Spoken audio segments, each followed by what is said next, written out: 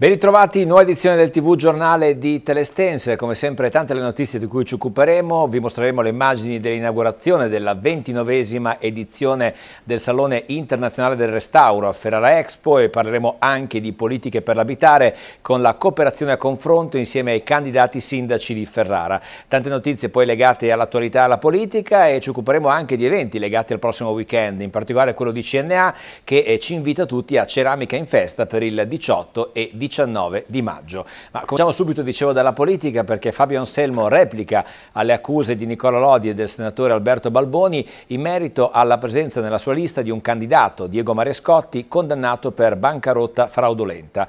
Anselmo dice che Balboni fa riferimento al patteggiamento non condanna avvenuto una decina di anni fa quando il candidato, poco più, poco più che ventenne, dovette rispondere per un'auto del valore di 5.000 euro a lui intestata mentre faceva parte di una società società fallita.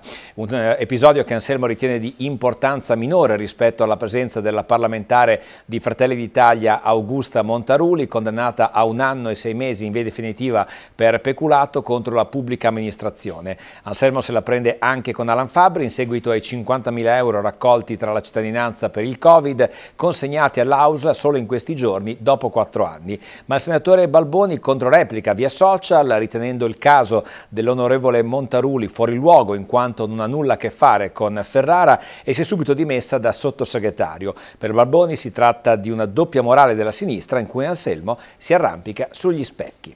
E adesso invece parliamo di emergenza casa, problematica che da tempo insiste anche nel Ferrarese. Se ne è parlato nella mattinata di mercoledì in via Medini a Ferrara nella sede della cooperativa Castello che ha organizzato un incontro con i quattro candidati sindaci di Ferrara a cui erano tutti presenti a parte Alan Fabbri. Eh, quali le proposte della cooperazione per le politiche per l'abitare? Le sentiamo dunque in questo servizio.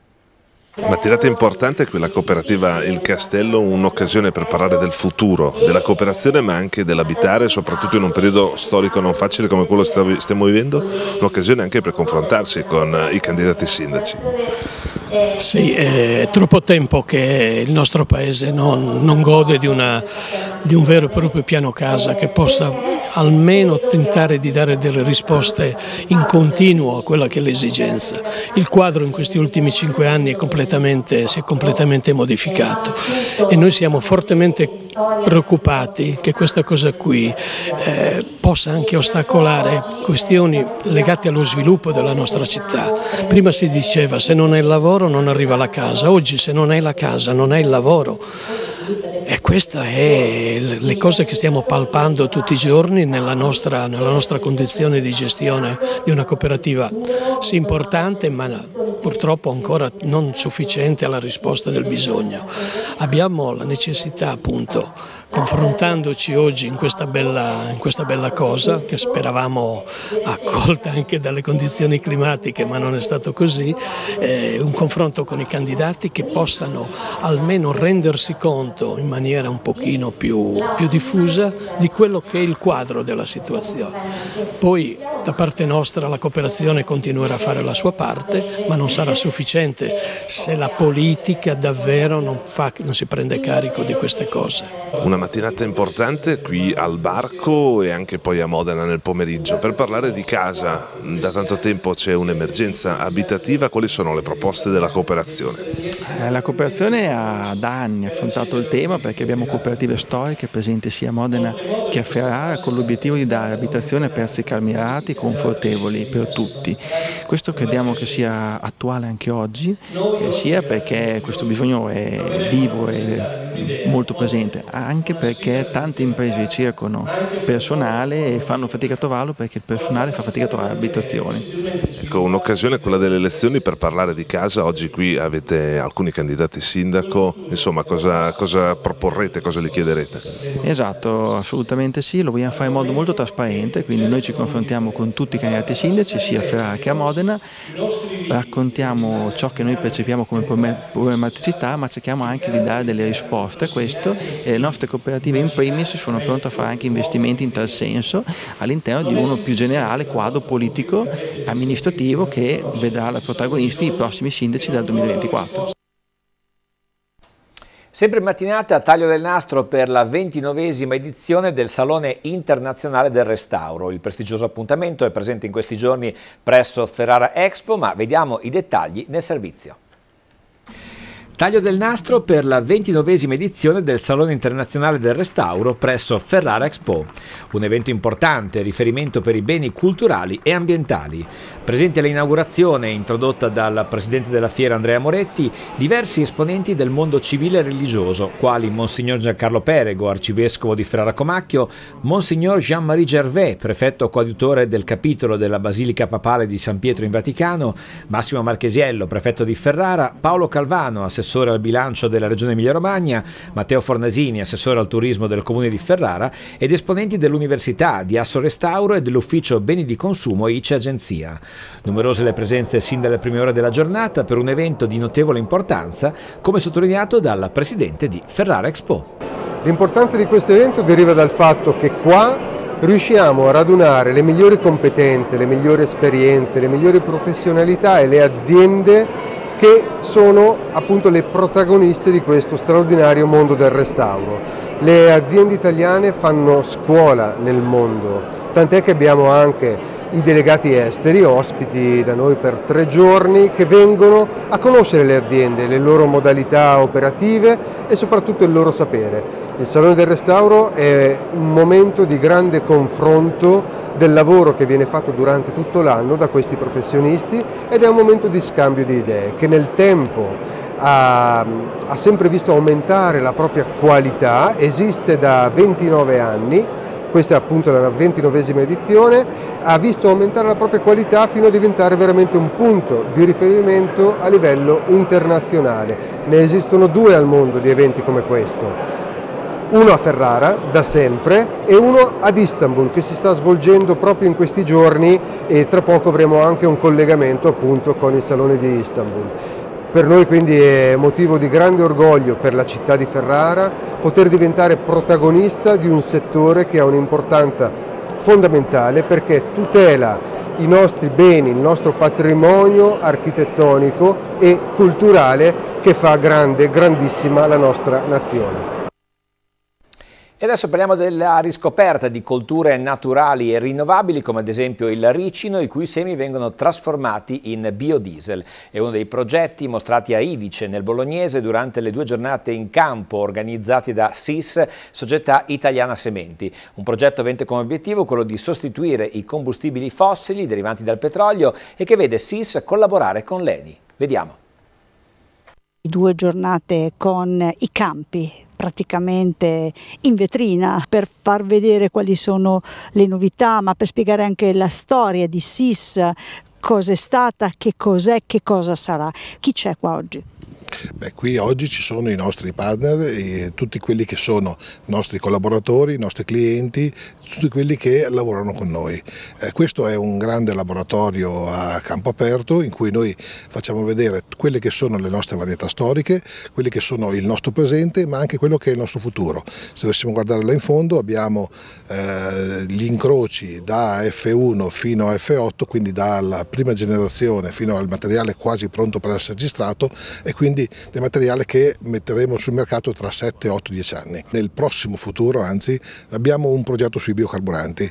Oggi qui potete vedere seminato del ricino, del cartamo, della camelina, del, eh, della brassica carinata, ma anche colza, ma anche girasole, che sono tutte culture a uso energetico che possono essere utilizzate per fare biocarburanti, che sono una uh, branca del nostro lavoro che è molto interessante. Eh, un uh, in un prossimo futuro eh, non, si, non, si, potranno più utilizzare combustibili fossili e quindi noi stiamo proponendo un'alternativa utilizzando culture, culture naturali, rinnovabili che possono andare a sopperire a questa carenza del futuro. Il ricino è una pianta di origine eh, tropicale subtropicale eh, che ha la caratteristica di avere dei semi con un alto contenuto in olio quindi questo la rende una, una pianta un, molto adatta per le produzioni di biocarburanti eh, nel contesto della decarbonizzazione del settore trasporti quindi eh, ha diciamo, su di sé un'attenzione eh, dal punto di vista produttivo sempre crescente. In SIS stiamo lavorando per individuare dei genotipi che possano essere essere adatti a diversi ambienti dove questa verrà eh, coltivata sempre di più da oggi in avanti. La coltura del cartamo che vedete alle mie spalle eh, è una pianta mh, a ciclo annuale, è l'altro oleaginosa minore su cui stiamo puntando molto, eh, sia come diciamo, ricerca genetica che come eh, miglioramento varietale. E, mh, eh, diciamo è una pianta eh, molto interessante anche dal punto di vista della rusticità in quanto a differenza del ricino ha produzioni molto buone anche in assenza di irrigazione. Eh, nelle prove che abbiamo fatto è stata diciamo molto competitiva anche senza apporto idrico e quindi anche per le aree diciamo di produzione come poi ha detto il collega che saranno probabilmente anche nell'Africa subsahariana è un elemento insomma di, di valore di questa cultura. Eh, come produzioni eh, diciamo potenziali si può può arrivare fino alle 3 tonnellate a ettaro, quindi ecco diciamo delle, abbiamo delle buone aspettative su questa produzione. Questo progetto ha come partner eh, importante una grande società che è Eni, Eni eh, ha questo progetto di biocarburanti e noi abbiamo questa collaborazione con loro per mettere a punto i biocarburanti per il futuro. E adesso invece parliamo di Campagna Amica News, in onda su Telestense dopo il TG del mercoledì con un focus sugli infortuni sul lavoro e poi spazio al progetto di call diretti nelle scuole e al compleanno del mercato coperto di Via Montebello. Ma l'ortofrutta ha registrato un dato storico e non si tratta purtroppo di una bella notizia per l'agricoltura italiana. Sentiamo il perché in questo estratto.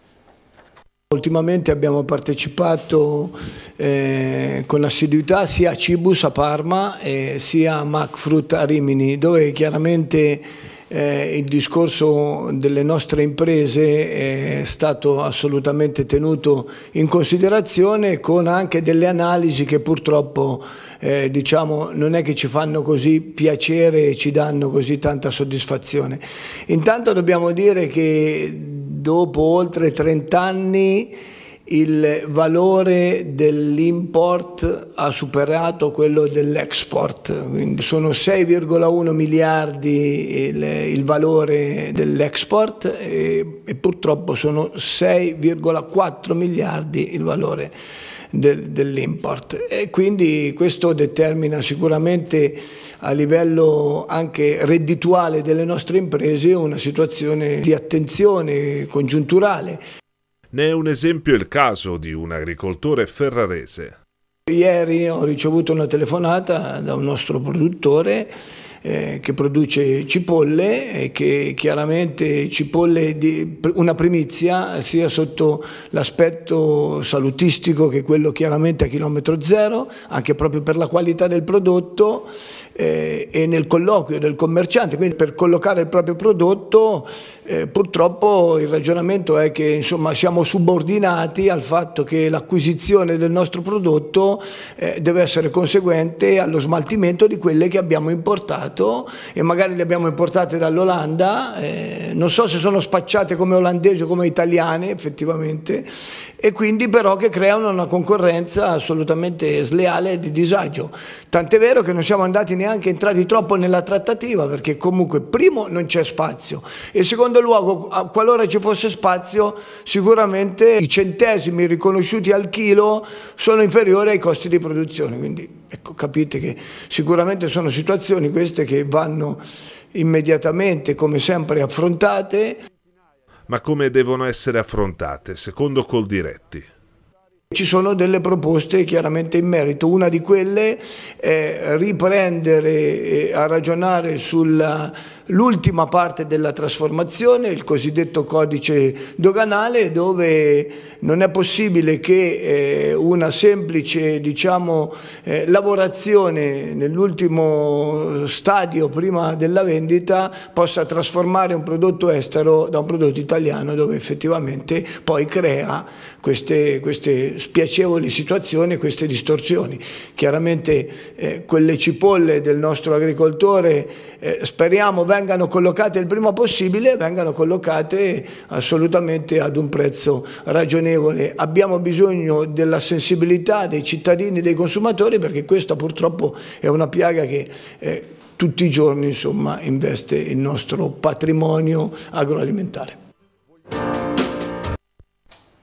E prima pagina di cultura ed eventi, parlando della presentazione alla Biblioteca Aerostea di Senza Paura, il nuovo libro di Dalia Bighinati, dove protagoniste sono 26 donne che hanno avuto rilevanza nell'ultimo secolo, intervistate dall'autrice. Ad introdurre il pomeriggio è stato l'editore Massimo Scrignoli, insieme ad Anna Quarzi, presidente dell'Istituto di Storia Contemporanea di Ferrara. Ne vediamo un estratto. È un libro che eh, racconta, racconta eh, la vita, il percorso, la presenza, soprattutto, ecco direi la presenza, perché alcune non sono più in vita, ma quasi tutti questi 26 ritratti di figure femminili geniali, libere e coraggiose, come recita il sottotitolo, che in realtà è analogo al titolo, è un titolo anche, anche questo. Sono 26 ritratti di figure molto importanti, divise in cinque sezioni perché eh, sono state raggruppate da, da Daglia sulla base del, della loro attività, del loro percorso culturale e soprattutto eh, umano. Vorrei soltanto oh, ribadire fin dall'inizio che questo non è un libro di stampo giornalistico, insisto su questo, anche se ha un taglio giornalistico perché nasce da interviste che negli anni Daglia, Daglia ha ha fatto e ha raccontato e ha pubblicato e ha divulgato anche in tv, ma le racconta in maniera, e lo dico con l'accezione più nobile del termine, in maniera romanzata, cioè per romanzata intendo letteraria. Eh, fa un percorso che è una sorta di viaggio dentro la storia delle donne, dentro le donne e, e attraverso le loro parole eh, sono tutte donne importanti, donne eh, importanti per il costume, per lo spettacolo, per la letteratura, eh, per eh, la politica, sono tutte donne, sono tutti ritratti, non, ritratto forse non va bene, comunque storie importanti di donne che sanno dire, che sanno dirci delle cose veramente fondamentali, fondamentali per chi vuole conoscere non solo eh, proprio la conoscenza, eh, non solo il sapere, se vogliamo, io scusate la parola storia mi viene, ma mi viene normale perché eh, sulla storia stessa delle donne. Sono donne, alcune sì, poche però tra l'altro scomparse, ma sono donne viventi e alcune chiaramente io stessa le ho conosciute, ne ho anche condiviso. Eh, qualche percorso eh, e, e, me le sono ritrovate, me lo sono ritrovate in questa sorta che è proprio un viaggio. Questo viaggio lungo il Novecento, soprattutto lungo la seconda metà del Novecento e i primi decenni di questo terzo millennio, eh, non sono soltanto un percorso che coglie certe personalità, certe figure femminili che hanno fatto determinate cose e in parte le ha accennato Anna, ma sono anche delle incursioni nella storia dell'epoca. Eh, incursioni che naturalmente partono da un angolo visuale o da un punto, come dire, di ingresso che non è sui libri e, ed è appunto il varco di una donna. E quando Anna adesso ha detto una cosa molto bella, e cioè che vuole leggere insieme alle sue studentesse o anche laureate che frequentano l'istituto e vuole leggerli insieme, beh, siccome avete sottolineato tanto che io sono stata per tanti anni un'insegnante, devo dire che io ho molto pensato a, alla gente di scuola scrivendo questo libro. E adesso parliamo invece di un altro appuntamento di tutt'altro genere, nel weekend appunto con Ceramica in Festa, evento organizzato da CNA per celebrare la tradizione ferrarese della ceramica. Siamo stati in conferenza sentiamo dunque le interviste. Accadranno tante cose. Noi eh, abbiamo coinvolto tutti i nostri ceramisti eh, nell'organizzare dei laboratori che vogliono eh, rendere partecipi tutta la comunità nel lavorare l'argilla, la, creare dei manufatti, cuocerli, utilizzando le diverse anche tecniche. Ci saranno anche delle dimostrazioni, naturalmente il tornio, così come eh, il graffito estense, dove noi abbiamo una forte tradizione ferrarese e che vogliamo continuare eh, ad alimentare. Eh, ci sarà un forno Raku in piazza eh, che lavorerà, cuocerà i nostri, quelli che sono appunto i lavori che sono stati creati e quello lì è uno dei momenti più suggestivi, più scenografici perché eh, una volta che verranno tirati fuori eh, gli oggetti che sono stati cotti dal, dal forno eh, prenderanno vita i colori e i colori Raku sono assolutamente stupefacenti. Siamo alla terza edizione è una manifestazione che permette di eh, mettere in contatto le imprese con la cittadinanza, in particolar modo speriamo i giovani, grazie anche alla collaborazione che abbiamo attivato con l'Istituto Dosso Dossi. E è un prototipo di un'iniziativa che nasce tre anni fa e che ci ha dato ispirazione eh, per crearne tante altre anche su altri settori, come abbiamo visto l'anno scorso quando in settembre abbiamo fatto la prima edizione del Festival eh, delle imprese delle idee. Eh, questo è un po' il, il nostro leitmotiv insomma, di, eh, delle nostre iniziative degli ultimi tempi perché l'obiettivo è quello di far tornare in contatto eh, i giovani in particolar modo con uh, le piccole imprese, in particolar modo le piccole imprese dell'artigianato, per fare scoprire un po' i valori, la cultura, eh, le tradizioni che ci sono dietro queste imprese e la creatività che può scaturire da queste imprese che può dare sicuramente anche un grande apporto al sistema economico della nostra provincia in particolare, ma un po' di tutto il nostro territorio. Oltre a, a essere ovviamente una manifestazione legata all'artigianato, eh, io invece de, mh, calcherei la mano, sottolineerei il fatto che è anche una, è anche una manifestazione culturale, perché il, il, non fermarsi solo al guardare, cioè non avere un atteggiamento passivo verso gli oggetti, verso l'arte, ma attivo, è un aspetto culturale.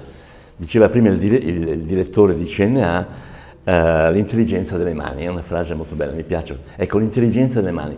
Vediamo i nostri concittadini ferraresi eh, mettersi all'opera guidati dai vari ceramisti ferraresi e come è stato l'anno scorso, è stato un successo incredibile, anche quest'anno vediamo dalle iscrizioni, che praticamente sono già esaurite, che c'è molta voglia di fare. Il progetto è stato fatto in relazione al PCTO, che è l'ex alternanza scuola-lavoro.